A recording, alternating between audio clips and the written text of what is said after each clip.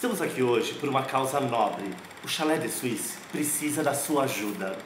O chalé foi multado em R$ 2.500 por um excesso de festas e animação. Você, que já esteve presente aqui com a gente e ajudou uma pequena parcela de contribuição nessa grande festa, ajude.